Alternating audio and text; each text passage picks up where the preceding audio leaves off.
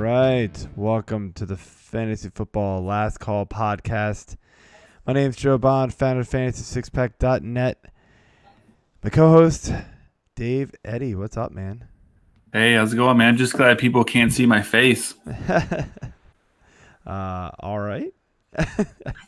I got, I got, I got a face for the radio, Joe. Fair enough. Fair enough. I, uh, I'm not, I'm not making any criticisms here. So, uh, thankfully, we are podcasting, so I guess that's a good thing. Hey, All right, man. So, week six is just about in the books. Right now, we're looking at a Steelers Chargers game, twenty-one to nothing. Steelers. Yeah, what the hell? Surprising, right? I mean, third string quarterback, not looking bad. I don't really know if it's him or really the little bit of this game I was able to catch before halftime. The Chargers are just getting dominated on both fronts, dude.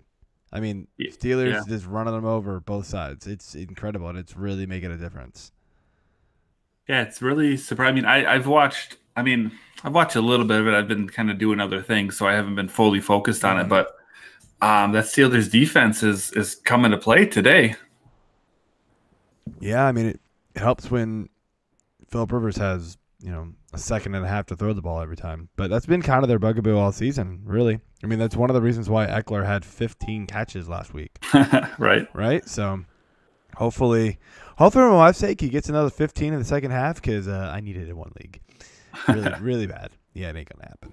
Anyway, uh, let's get to the games here, man. So start here with the Panthers versus the Bucs. This one was in good old London town. 37-26 Panthers take this one. Panthers had this one pretty well in hand for a while. Bucs got a lot of uh, garbage time, if you want to call it that. Um, and start here on the Panthers side. McCaffrey got his, I guess. Like the yardage wasn't really there. Kind of a rough day for that, but he scored twice. So as a fantasy owner, you're definitely happy. Samuel was the receiver who benefited the most, had a rushing touchdown and a receiving touchdown. Uh, but I mean, wasn't a super offensive day for them, especially with McCaffrey kind of struggling. But I mean, you're not complaining if you're a Panthers fan, right? Nah, man, so many, so many turnovers from Winston that right. You know, they That's scored the 37 points without, you know, fantasy wise, really anything to talk about. Like you, you would think 37 points, you know, and playing the Buccaneers, you'd think that, you know, McCaffrey had another one of his monster games Mhm. and to take away those two touchdowns and he was non-existent. So yeah, the that's definitely one of those where if you were just to be box score hunting, um, you would be very confused at the score of this game. Yeah, and you mentioned the turnovers, Jameis Winston. That's the story there, man. Uh, 400 yards, you love that. You got a touchdown. That's okay. Seven sacks and five interceptions. Oof. Um, I mean, like we said, the receivers got theirs. I mean, but it was all garbage time. I mean, Godwin was 10 for 151. A long catch, a couple long catches late kind of boosted him over top of Evans to overall stat line. Evans was just kind of there. He missed some big ones deep though. Um, I mean, I think this is kind of what we're gonna get from Tampa most of the year. Is just you know they might they're gonna fall behind and they're just gonna have to play catch up, and that's kind of what you're banking on with Winston and these receivers. But I mean, the guy five touch five interceptions, man. That's that's brutal. But that's that's what he'll give you sometimes. Yeah, and I, I feel like every week it's it's the same you know thing coming out of my mouth as far as Winston is concerned. Is you know what one day he's going to put up you know 304 touchdowns, and then the next week you're going to get you know you know 225 and four picks, and you just never quite know what you're going to get from Yep. from Winston. Yeah, and this Bob was a perfect example. Yeah, as Bob Long likes to say, uh, he is l- one of the most inconsistent quarterbacks out there. So you get what you get with Winston. And uh, yeah, today was bad, Winston. So moving on to the game of the week Redskins versus Dolphins. Ugh. Uh, you want to just? Are you ready to move on? Terry McLaurin. Yeah. there you go. Um, and I, dude, I, so obviously I grew up a Skins fan, still kind of a Skins fan. It's hard to root for him. Uh, I just don't like the organization. But funny, like they went for two at the end of the game, and I'm going, Man, Ah, they're, the they're not, man? legit trying to lose this game. They don't want to win. Listen, the, the eight people that were watching that game didn't want to see overtime. So no, you not know, at all. No. Uh, I mean, look, AP did all right for you if you randomly started him. I had to in one league. Um, McLaurin did great. You know, two Yep. touchdowns. Nothing else here, man. Nothing else. We can move on. absolutely. Um, Seahawks and Browns. This one was an interesting game. Um, Seahawks took it 32 to 28. Russell Wilson, Mr. Efficient. Um, you know, 295, two touchdowns, had a rushing touchdown as well. I think that's not in the stat line that we wrote down, but I'm pretty sure he got one. yeah, he did. Carson got 124 and a touch, so big target, big game there by him. But I mean, that's really all it is. Is Wilson's just Wilson, Carson's getting his, and I mean, this is what we got, right? Yeah, another. I mean, this was like you said. This, to watch was an interesting game. It was. It was really Back and um, forth, man. quite back and forth, back and forth, back and forth, and yeah, it was entertaining to watch. Fantasy wise, you know, other than the fact that you know Carson and Chubb both got their carries, um, you know, both got in the end zone. Chubb twice. Um, wasn't a whole lot fantasy wise that you know big time came out of the game. Yeah, it's a um other Seattle news though. Unfortunately, Will Dissly went out pretty early. It, they're just calling it Achilles injury right now, but I think we all know what that likely means. So sad news for his owners. Um, kicking myself in the ass right now. I benched Dissly or benched Kittle for Dissly. What? Um, Dude, you should- know, early texted me about that one. well, early today, they're sitting there talking about how Kittle's got a groin injury and he might not even play a full allotment of snaps, and they're gonna have to leave him in the block because they're missing a like a left tackle and um obviously the the the fullback who I'm blanking on the name right now. So like, it's all this negative news toward news toward Kittle, and I was like, well, screw it. Like Dissly's awesome, so I'll just use him. Nah, Dissly never, goes out never and- bench, never bench Kittle. Ah. Life, life lesson, life lesson, buddy. Wow. Hey, the first four weeks of the season, it would have been the right move. let's, Well, let's put it that way. Depends on who who they play it against too. Ne- Never, never bench good, Mr. Kittle. man. Dissly's good. Anyway, all right. Uh, moving on the Browns side here, we got um,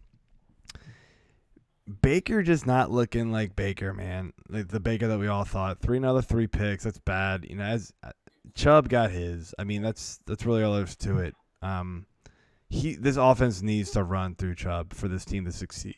And I think they're finally starting to realize that, but Baker still had to throw the ball 37 times, which is not going to be a recipe for success in in this offense. Completely agree. Yep, that offense needs to run through Chubb. Um, I, he's Such really the only guy dude. that. What's that? He's such a monster. I know. Um, but yeah, he's the only guy on that team. Uh, this might sound crazy, but um, even even considering Odell, Chubb's the only guy in that team that week to week I pretty much trust. Yeah, I mean Odell finally got his 11 targets and he went six for six for 101, but Yeah. like it's yeah, the passing offense isn't anything I'm I'm looking forward to using any any week. Two, two up and down, man. Yeah, Texans Chiefs next game. Uh, Texans 31, Chiefs 24. Texans lose an or Chiefs lose another one, man. Uh, two in a Another- row here. This was a hell of a game too, man. This one was, was- back and forth, back and forth the Yep. whole way. Yeah, um Carlos Hyde, man, was really the the the highlight for the Texans. I mean, Watson kind of struggled. Um, Hopkins really never got it going. Got a ton of targets, but just never really could connect. Fuller missed on three touchdown catches, man. Like that was Yep. brutal. Um, so he could have had a monster game again, but just didn't. But Hyde, man, Hyde looked fast. I was watching him watching that game constantly on Red Zone, and he looked ridiculously good. I was like, wow. Well, I almost uh, didn't even fair- realize it fair was word of warning, though, man. Like if you remember last week, on Johnson looked, you know, all pro against the Chiefs as well. So, I mean, I I do like Carlos Hyde, but I think it's more the Chiefs. week. What? what's that? Chiefs played the Colts last week. Oh, two weeks ago, whatever, Joe. Oh, okay. You get my point. My my point is the Chiefs' rush defense sucks. Gotcha. Yeah, true, but still, Carlos. Hyde- yeah, Still. Lions had a bye week, so it's the last game in my Ah, head for them. Gotcha, So gotcha. Okay. Uh, on the Chiefs side, um, Tyreek Hill returned, so that's good news. He caught an amazing catch, amazing Yeah, touchdown catch in the first quarter, and that was pretty much it. Like he caught another touchdown, but it's of like a broken play. He just kind of sat there in the corner of the end zone, was like, "Hi, I'm open." Um, Mahomes wasn't really efficient. Uh, my big takeaway, I'll let you say your own note here. My big takeaway was Damien Williams only had two touches. Thankfully, one of them was a touchdown. Yeah, a nice, a nice I feel bad for the dude I told to start Damien Williams over Devonta Freeman. By the way, I'm really sorry. bro. Ooh, ouch. Right? But who knew Damien Williams was going to get two touches? Yeah, that'd have been a tough one. In retrospect, I want to say I would have still banked on Freeman just because of the matchup, but I mean, I don't know. I guess that that was that was a close call at it the was time. tough. It was tough for me to make that call, but um, but yeah, I don't know. What do you What do you think here, man? No, that first Tyreek Hill touchdown was, you know, it was an offsides play where Mahomes just kind of threw it up.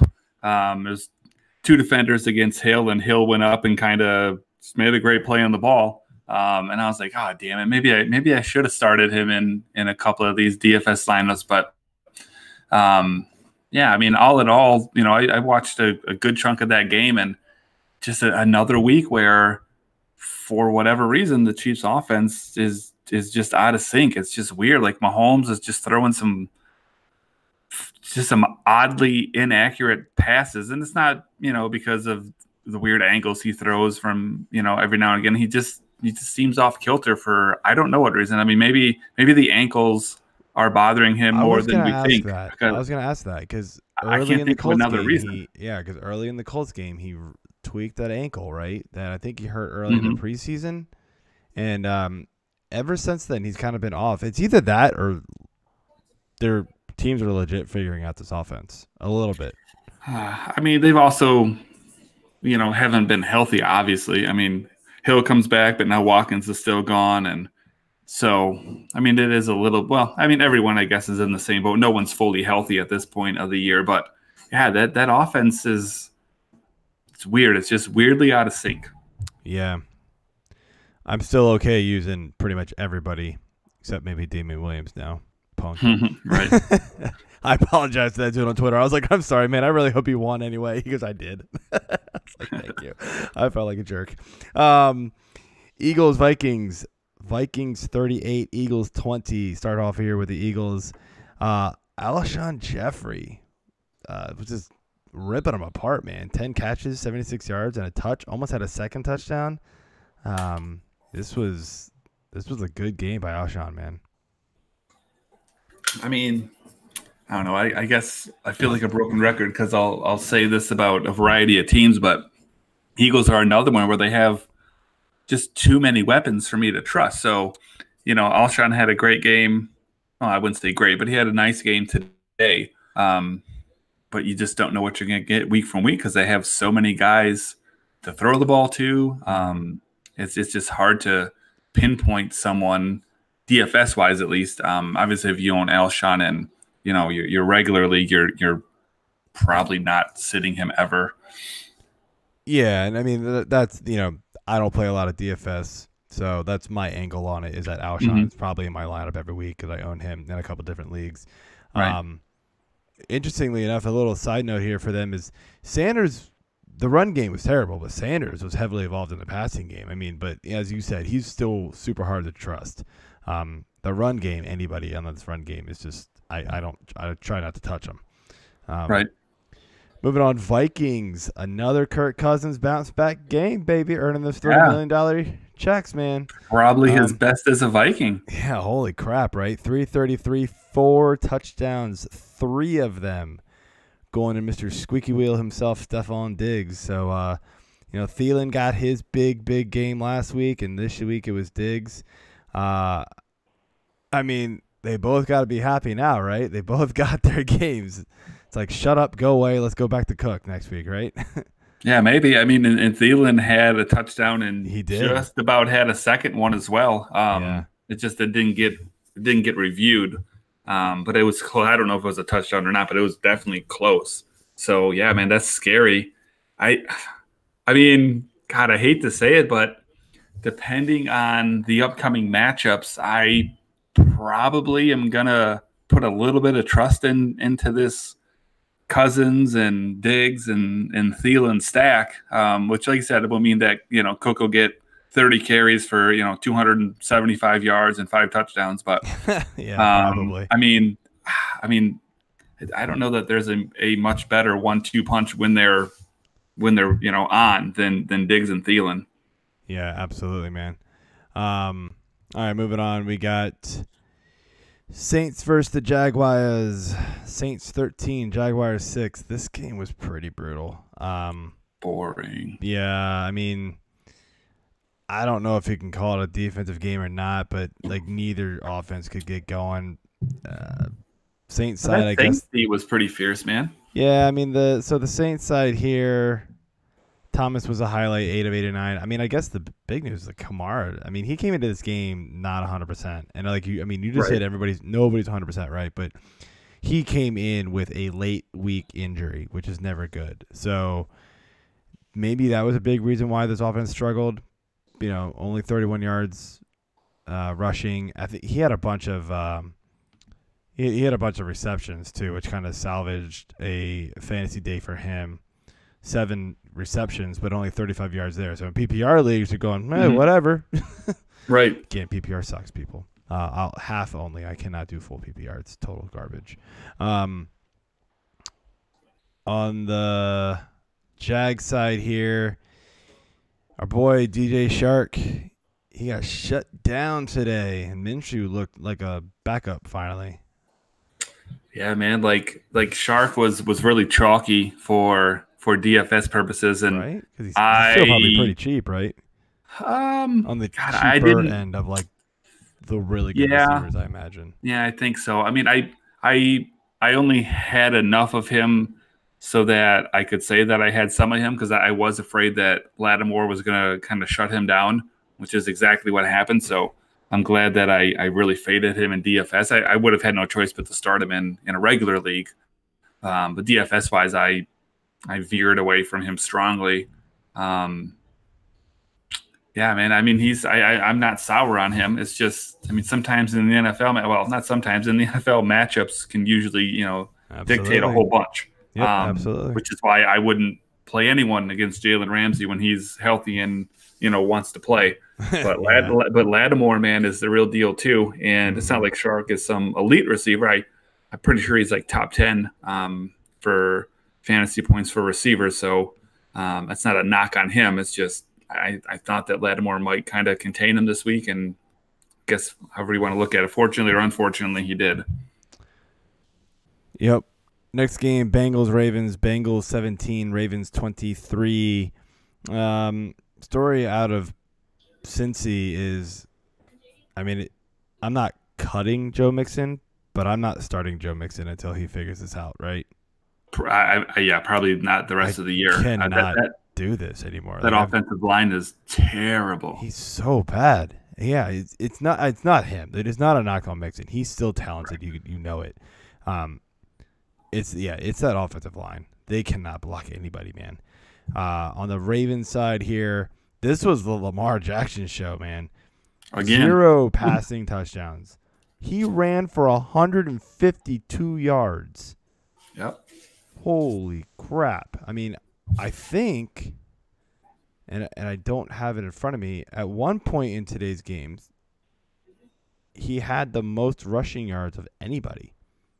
So unless somebody from the four o'clock games passed, no, I think he, I think he was leading rusher for the day. Yeah, he was leading rusher of the day. That's pretty crazy. So, but still, man, you know, Mark Ing- Mark An- Andrews got his six for ninety nine. You're happy there. Ingram got a touch. Uh, so I mean, you know, people did what they had to do. I mean, this was without Hollywood Brown, so that you know the passing offense takes a step back, obviously, without him. Uh, but hey, they got the job done. Yeah, Lamar Jackson is just he's just stupid good, man. Like, I mean, I the, the problem for for me in in DFS this week was there was a handful of quarterbacks that I really liked, mm-hmm. and a couple of them I just had to not get as many shares of as I wanted, and, and Jackson was one of them. Um, and so because I didn't go with Jackson, I, I relied a little bit heavy on Ingram, um, especially once Hollywood was was deemed out, because mm-hmm. I knew mm-hmm. they were going to run the hell out of the ball. Um, and so then I was going to be him as much. Well, 19 right, right. That's right. crazy. So I was kind of going back and forth, and I was thinking, man, do I want to bump up my exposure to Ingram, or do I want to bump up my exposure to Jackson, figuring he was going to run the ball more? Now, obviously, I didn't expect him to have 152 yards and a touchdown, but I, I, I went with Ingram instead of more Jackson shares because I had so many quarterbacks that I liked. Mhm. And I guess life lesson, at least for this year, man, if Lamar Jackson has got a good matchup, you've got to get your share of him. yeah, he's just going to eat some defenses alive. Yeah. On to the 49ers Rams, and this one really shocked me. I mean, like, look, I think we're all starting to jump on this 49ers bandwagon a little bit and believe in this team. It, I mean, I get the Rams were without uh, without Gurley today, but wow. Holding the Rams to seven points. I mean, that's the story of the game, right? And the 49ers defense Mhm. just came out and dominated this team. Yeah, I don't know that Gurley would have made a difference, No. especially with, with how he's played this year. Um, I mean, He's the, been the- touchdown the- dependent. It hasn't been Mhm. him like just dominating. It's been like they've gotten close and just like he punched it in type of thing. So yeah, I'm with you. No, and it, and it really wasn't, you know, it really wasn't a case of necessarily the Rams just, you know, playing poorly. It was that the 49ers defense forced them to play poorly. They had, man, I'm trying to remember exactly. Um, there was at least three, if not like four, fourth and one or fourth and twos that they stopped him on. Uh, they had a goal line stand. Uh, they stopped him on a bunch of third and shorts. I mean, that defense was just ridiculous. Mm-hmm. Um, and I, I know that, you know, you kind of logic would tell you, well, if they had Gurley, they'd have been more likely to get those short yardage, you know, first downs. But I don't know, man. Yeah, it was a, a pretty rough day for the Rams, and I mean, proof right there. Jared Goff, 13 for 24, 78 yards. Yeah, he had a rough day. That the the receivers were so covered by that Niners defense. Like, I mean, every pass that he was throwing was so contested um, at the you know point of catch, um, and then they were getting pressure on him. So, yeah, I, I, I'm, Robert, Robert I'm Woods didn't even get a reception. He had four targets. Thankfully, he ran in one from eight yards out. Yeah, and anyone that I have that's facing the 49ers defense this year, um, I am probably just avoiding. I, I don't care who it is at this point. It, that that defense was was for real. Yeah, I mean, a season long it's going to be hard to avoid them completely, but in DFS, yeah, I think Yeah. they're, I think they're one of those teams that you're not targeting to play against. You know, Not in the least. yeah. Falcons Cardinals next game, really close game. Cardinals took it 34 to 33. Um, more of the same for the for the Falcons, man. Um, you know, had to come back again. They were down 27-10, so Matt Ryan time, right? 356 yards, four touchdowns. For fantasy owners, you love it. As a Falcons owner or a fan, you hate it. Yeah, I Um, can't even I own. Matt Ryan. I own Julio. I own uh, Calvin Ridley in a couple places. I love it when they get behind us. It's like, all right, here, it's Well, time to go, guys. every week, every week, go, guys. yeah, it's awesome. Yeah, that's Uh, exactly what happened today too. They were down 27-10 and you know the, the offense wasn't looking so hot and you knew that they were just going to start you know passing that ball around and that's what they did and before you know it it's you know 27-27 and then Yep. um yeah so yeah that's exactly the script that I was hoping for DFS wise. Um I had the majority of my shares in in Ryan um Hooper and unfortunately I I had a lot of Sanu who didn't who didn't do much but Yeah. um, so I was getting great. nervous there. Um, it took basically about halfway through the third quarter before they really started getting it going. I think Ryan had like 120 ish yards at in one touchdown at the half, and I was like, oh shit, yeah. oh man. I'm like, hopefully they do what they've done every week, and thankfully fantasy for- you know, Explode in the second half. Yep, exactly. Uh, on the Cardinal side, Kyler Murray looking looking pretty good. I mean, yeah, I get it. Atlanta's defense not good, but like, you know, hey, Kyler Murray is is looking like he belongs here. No sacks, no interceptions. That's always good. Um, 340 yards passing, three touchdowns.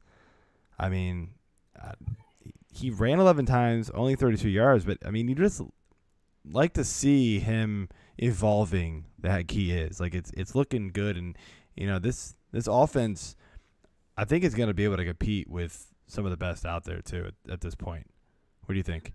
Yeah, for sure. Um, I mean, God, there's been at least three different weeks now where I've seen him, and you know the the the stats and the points may not necessarily always show it. Um, I mean, this week the stats are pretty good, um, but yeah, that offense has a chance to be elite. I mean, they show flashes with him at quarterback of just ridiculousness, and he doesn't really have a lot of guys that throw the ball to. I mean, if we're being honest, and oh, especially you know, this week without Christian Kirk.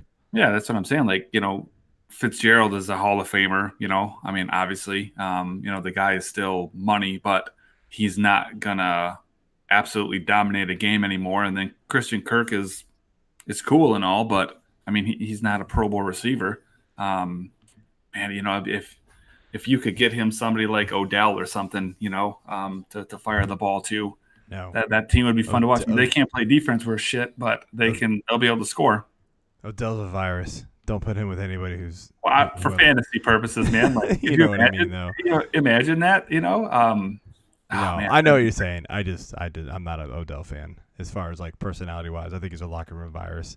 He ah, needs to grow up. Right. My fantasy team don't give a shit. So yeah, well, hey, fantasy owners of Odell this year, how y'all feeling? How's that second uh, round pick going? Hey, they'll they'll feel they'll feel better if he was in Arizona. It probably. All right, Cowboys Jets here. Big, big, big upset, guys. A 22 Cowboys Jets 24. Do I sound do, do I sound too happy?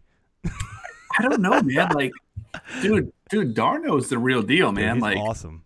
He makes such a difference on that offense. It is, I mean, it isn't even night and day. It's like it, it's it's more than that. Like this is exactly what you wanted to see if you owned any jet that wasn't named Darno. Yeah. Because he comes back and the offense is like normal and good. Yeah, actually. Yeah, Jamison Crowder insane. is back to being a good play. Um, I mean, granted, Robbie Anderson had most of his damage on on one, one big play. play. but but that's but what he can do. That's him. Right, that's, that's, Robbie Anderson, exactly. Like he wasn't doing that with with Falk, you know. No. Um, Crowder yeah. was getting zeros. I mean, mm-hmm. Bell, you know, not awesome, but good, useful. You know, he was fine. Yeah, Bell, yeah, that Donald, Bell 330 yards, two touchdowns.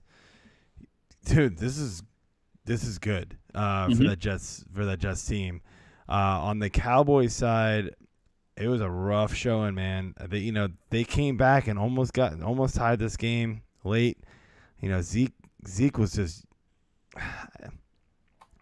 I don't know. Zeke was good and bad. Like it was weird. Like I saw some flashes where he was like, "What the hell are you doing?" And then other times where it was like, "Ah, there he is."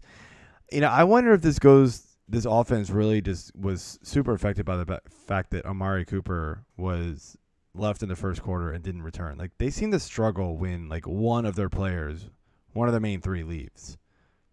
Well, I, I disagree because they were down 21 3, and this, uh, I don't know. Well, yeah, you got to call it a comeback. Yeah, the, but they, the comeback happened with Cooper on the bench. I guess, but they, they kind of like they lose their identity right away. And so it takes them too long to figure out like what they have to do when when, when players leave. I don't know. It's just I, I I'm not sad. I'm not a Cowboys fan. Obviously, I'm a Skins fan, so I, I love it. yeah, I actually, dude, fun. I'm telling you, I, I I actually really like this Jets offense, and I may be the only person that would have even I would have said this last week. I just I well, I did say this last week. I said, don't touch anyone, including Le'Veon, until Darno gets back, and then you're gonna have you're gonna have you know good options, and that's exactly yeah. what happened. And I don't think that this is a fluke. I don't think this is a you know Jameis Winston kind of thing where you know he has a good week and then he has a terrible week and then he has a great week. And I mean Sam Darnold is solid, and I I have no problem with you know having any shares of Crowder or Bell. Um, you know, it, as long as the matchup is right, they're not playing the 49ers or something stupid. Yeah, um, I mean, I hey, look, I drafted Jamison Crowder in a bunch of leagues. I thought he was super underrated. Uh, I, I wrote about him on Fantasy Pros as like one of my as my sleeper pick. Uh, you know, obviously hadn't worked out so far because Darnold's been hurt, but I yeah. was gonna, I never dropped him because of it. Super bold call of the day, by the way. Right before the game started, I was like, uh, it was my dynasty league. I'm like, I'm looking at my quarterback and I go, I've got Aaron Rodgers. I don't want to start Aaron Rodgers. My backup is Dalton and Darnold. You can like, just drop Dalton, man. And, well, yeah, whatever. but I was like, you know, screw it. I threw in Darnold at the last second. It was literally like twelve fifty nine, and I swapped him in. I you know I think as a that's going to work out fan, pretty nicely. I hope it's a genius. I hope Aaron Rodgers throws seven picks tomorrow Of night, and of course, makes me look absolutely stupid. But yeah, I uh, hope you look like a genius, man. But hey, Darnold already had a better game today than Rodgers has had all year, so I'm, I'm okay with it. Yeah, And I mean, think I'm gonna lose, out, yeah. unfortunately, and I'll get on that in a second. But uh, last game here: Titans Broncos. Broncos 16, Titans zero. Uh, I called the Disgusting Broncos game, as my defense to pick up this week as a streamer and own in Mm-hmm. 40 percent or less of leagues, and wow, did that work out? the yeah, Titans good, could not good be worse. man. combination, man. Good combination Um, of a good D and a terrible offense. Dude, the story, the only story coming out of this for Titans is they finally benched Mariota. I mean, Tannehill's their backup, but like, wow, I don't like they not much better. I, I don't know what to do. Like, I literally don't have any idea what to do with the Titans offense. I mean, Henry's the only person you can even think about starting every week, and it was a rough go for him today, even. So, I don't Yeah, know. Henry has been like ungodly consistent. Like up until this Yeah. week, like you could chalk him not up for normal for him. no. He he literally was putting up the first, you know, the first five weeks. He was putting up almost identical stat lines every week, and this was a tough matchup. Um, I, I had a lot of Henry shares just because I thought it would be a low scoring game. Um, which at least it was on the Titan side of the ball, but um, you know, I, I knew that it was going to be low scoring. I thought they were just going to pound the hell out of the ball, and um, yeah, um, a little bit, but not so much. Yeah, on Broncos side, um, I mean the only focal point here is the running backs. Split carries, kind of right down the middle here, but Lindsay's a better player, so I think you're still starting Lindsay just because it just keeps working. Uh, and Freeman, you're that's a you know that, that's a bye week flex type of option. You know that's the only time I think I'm I'm using Freeman. Um, Emmanuel Sanders left this game with a knee. It doesn't sound like the thing I read just before we, we recorded this is that it doesn't sound like it's serious. So that's good to hear. Because Sanders has been pretty good despite Flacco not being Mhm. very good. Like the receivers have been useful at least. Yeah, I mean Um, Sutton. I love Sutton. Sutton, and Sanders why have both been solid. Yeah. Yeah, Sutton is routinely pretty cheap, and he's been pretty consistent as well. Um, so yeah, I mean, I've been happy with with Sutton, but but man, I this this rushing uh, attack, well, not even the rushing attack, just their their use in general between Lindsay and Freeman is just so stupid. Like, like I get it for like, you know, real life purposes, you know, for the Broncos, but fantasy wise, like Lindsay is. He's been so much better. best player efficiently. Um, just you know, eyeball test on the field, and they just continue to, you know, basically give them even touches between you know rushes and you know catching the ball. And man, yeah, if, Lindsay could have some serious value if Royce Freeman just ceased to exist. Yeah, pretty much. Kind of like last year. I mean, yeah, I mean, I guess you probably could honestly say the same thing though if you were to flip it and say, hey, if you know, if Lindsay didn't exist, Freeman would be a, a decent option too. But He would. But yeah, man, Lindsay is, yeah, he, he just he gets so bogged down in that, you know, in that timeshare. Yeah, it's tough. So my that's all we got for the games. My Sunday venting stories. I got one this week. I am in two different leagues where I am going to end up being the second highest scorer. Maybe maybe three leagues actually. And I'm going to lose to the highest score. Man, I wrote hashtag the worst. Like I, I, uh, sometimes fantasy football sucks, man. Like it's so brutal. Uh, Nah, literally nothing you can do. It's one one day of games, right? Like, ah, anything can happen. One day. yeah, I, I can't tell you how many times. I mean, I'm sure there's a lot of us, but I can't tell you how many times I've been on the same coin, man. Like there was one time a couple years ago, um, I I led the league in scoring um, by a decent amount. Like I was probably uh, I don't remember 10, 15 percent higher um, for points scored for the whole year than you know the, the next closest guy, and I didn't even make the playoffs. So an eight team, eight team, you know, eight teams out of the twelve made the playoffs, and I literally didn't make the playoffs, Oh and I gosh. led the league in score. Yeah, how does that even happen, Joe? Like that's almost impossible. Yeah. Um, I- But yeah, I- the variance in, in football yeah. is so crazy.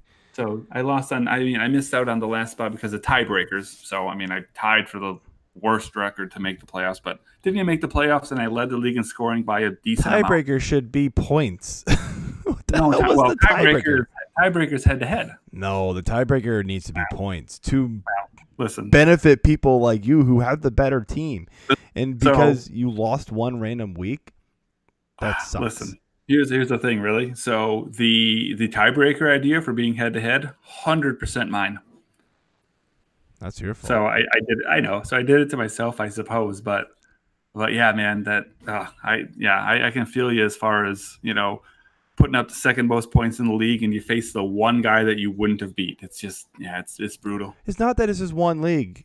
It's two, possibly three of my leagues this week. I'm just like, Yeah. I'm looking at the scores, going like, oh, I put up 130. The hell, I played the guy put up 160. Yeah. what the hell? It's brutal. All right, man. Well, that's all we got. Thanks for uh, thanks for listening, and um, hope you did well this week. Come back next week for uh, more recap. See you later.